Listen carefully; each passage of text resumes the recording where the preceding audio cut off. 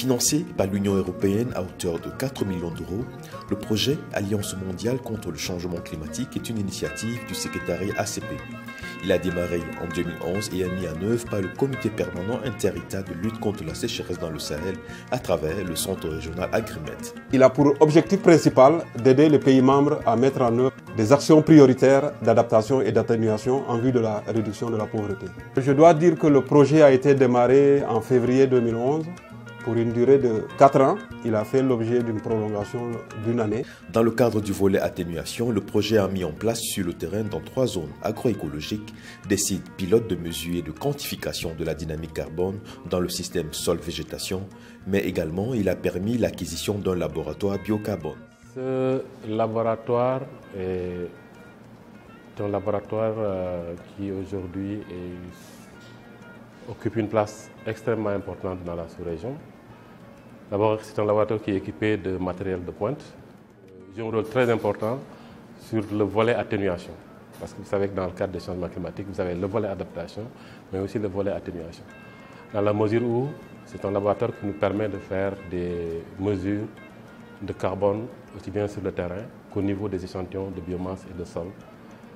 Euh, mais aussi, euh, avec les appareils que nous avons, nous pouvons mesurer l'hydrogène, l'azote, le soufre l'oxygène de nos échantillons. Le laboratoire biocarbone, de par l'ossature du matériel qui le constitue, est une référence dans la sous-région. Normal au vu de la qualité du travail de précision effectué par chaque appareil et instrument. L'accès dans le laboratoire est strictement réservé. Les manipulations qui y sont effectuées exigent un savoir-faire avéré. Le centre régional Agrimed, reconnu comme centre d'excellence en matière de formation et d'information, dispose de compétences appropriées, lesquelles effectuent différentes analyses physico-chimiques des échantillons de biomasse et de sol ramenés du terrain et des sites pilotes. La mise en place de ce labo répond d'abord premièrement à cette préoccupation de pouvoir appuyer ces équipes de recherche des sites pilotes, sites Sahel, sites Savane, sites Forêt, qui sont des sites représentatifs de l'ensemble des agro-écosystèmes rencontrés dans la sous-région.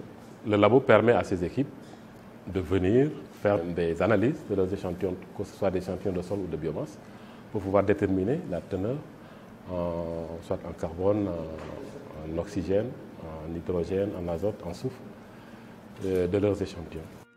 Au Bénin, l'institution haute du projet Alliance mondiale contre le changement climatique est l'université d'Abomey Calavi à travers son laboratoire d'écologie appliquée. Je peux vous dire que le laboratoire d'écologie euh, appliquée euh, sur ce point-là cherche énormément de euh, coopération. Et en particulier ce projet qui unit le Bénin, le Niger, le Burkina Faso grâce à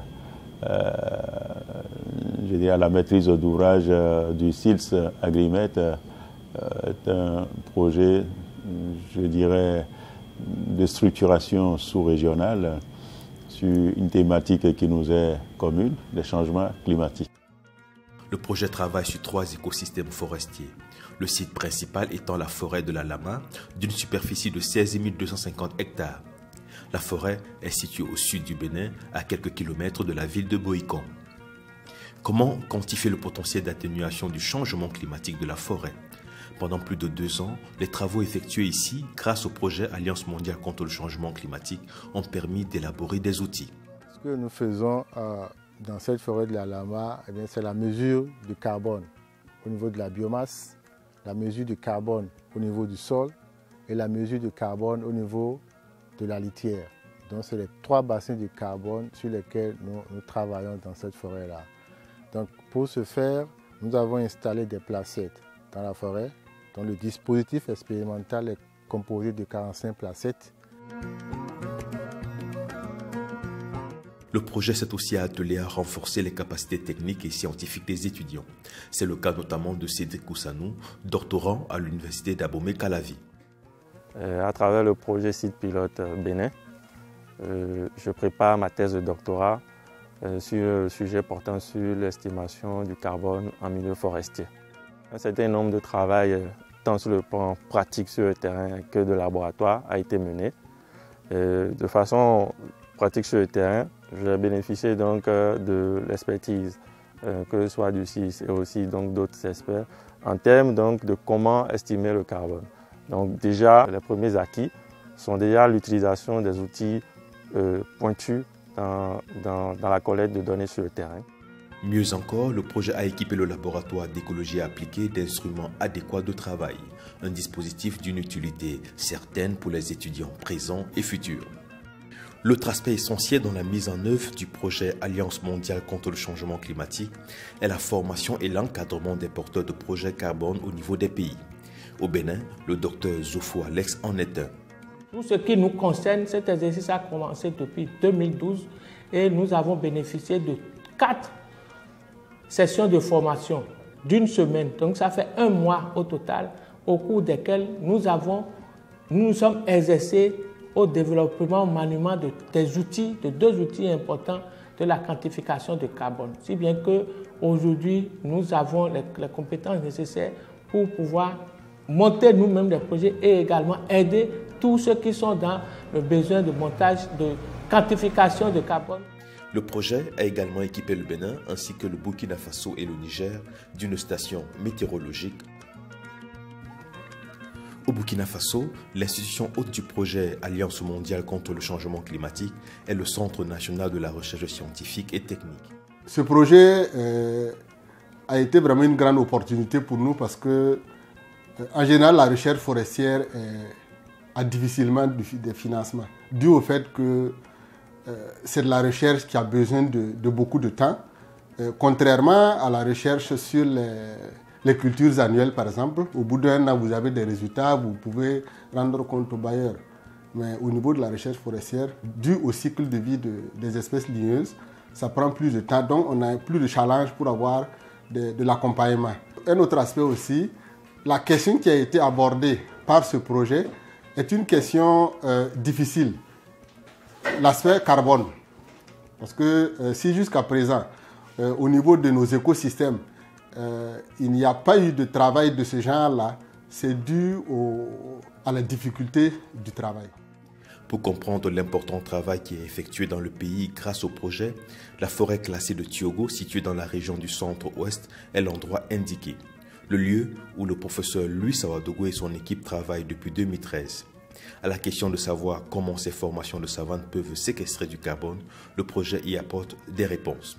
Et dans le carbone du sol, on a autour de 24 tonnes par hectare de carbone au niveau du sol. Et au niveau de la végétation, nous avons estimé autour de 25 tonnes de carbone par hectare. L'accroissement annuel est autour de 0,15 tonnes par hectare de, de, carbone en accroissement annuel, vu la croissance des arbres et le stockage au niveau du, du, du sol. C'est ça qu'on a comme, comme données. Moi, je trouve que les résultats sont vraiment encourageants, je peux même dire satisfaisants, parce que on est parti pratiquement du, néant pour aboutir déjà à, ces données, parce que il faut reconnaître que les études du carbone, surtout dans le domaine forestier, au niveau savane, je pense que nous sommes les, pionniers. Au Burkina Faso, le projet a aussi construit sa stratégie sur le renforcement des capacités, une initiative salutaire et bénéfique à plus d'un titre. Grâce au projet dans ce cadre, les activités concernent principalement, dans le cadre de ma thèse, à évaluer la séquestration du carbone au niveau du sol, au niveau de la végétation, tant végétation aérienne que la biomasse souterraine concernant les racines. Et, et plusieurs activités ont été menées et ça c'est grâce au financement du projet Carbone que nous avons pu mener ces activités. Au Niger, troisième et dernier pays disposant d'un site pilote de mesure et de quantification de la dynamique carbone dans le système sol-végétation, l'institution haute du projet est l'Institut national de la recherche agronomique du Niger. Quand le SILS a soumis cette offre effectivement de faire un suivi permanent de trois sites, à savoir les sites sur les savanes, les sites sur les formations sahéliennes et les sites sur les formations guinéennes forestières. J'avais soumis une offre et en candidatant sur une formation forestière qui est celle de Madaroufa, la forêt de Madaroufa. Comme vous le savez, c'est une formation forestière, l'unique d'ailleurs dans la région de Maradi, qui pour une large part contribue à l'approvisionnement en bois énergie de la ville de Maradi. C'est à Maradi, région centre-sud du pays, qu'est située la forêt de Baban Rafi Sud abritant le site pilote. Depuis 2013, l'ingénieur des eaux et forêts Amani Abdou et son équipe, dont le doctorant Barmoussou Karaji, travaillent d'arrache-pied pour des résultats encourageants.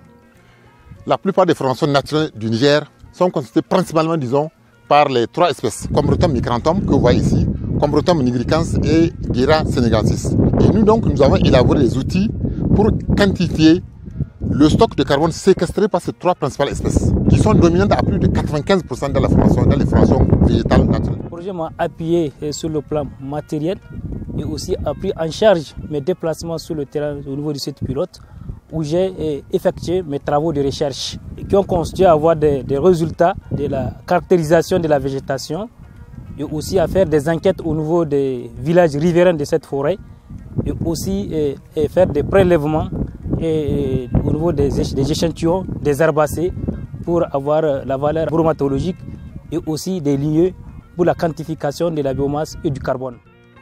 Le continent africain, qui n'émet que 4,55% des gaz à effet de serre, subit malheureusement de plein fouet les effets du changement climatique. Le projet Alliance mondiale contre le changement climatique, après plusieurs années de mise en œuvre, se positionne comme un des leviers efficaces dans la contribution à l'effort global de réduction des gaz à effet de serre. 100% des résultats qui étaient escomptés euh, sur ce, projet ont été atteints. Et au niveau donc euh, des organisations sous-régionales, il y en a plusieurs à travers le monde hein, qui, mettent en, œuvre le projet à l'échelle régionale. Euh, le CILS vraiment a été félicité. On est cité un exemple. Le GCCA a rendu beaucoup de services au CILS, à ses experts et à la population sahélienne ouest africaine dans la mesure où il a aidé nos États à intégrer euh, la politique du changement climatique dans leur programme de développement. Le GCCA aussi a permis euh, de former les négociateurs euh, sahéliens ouest-africains euh, dans le cadre de, de, discussions qui ont eu lieu, par exemple, à la COP 21 à Paris. Le GCA maintenant a formé aussi les experts nationaux quant au problème du captage ou bien au sujet du carbone. Donc ils sont bien équipés pour pouvoir apprécier et comprendre la dimension carbone dans les échanges, euh, toujours dans le cadre du changement climatique. Et finalement, le GCC a permis euh, à nos experts euh, plus ou moins de, de soutien par rapport à la mesure et au suivi et évaluation du carbone dans nos sols.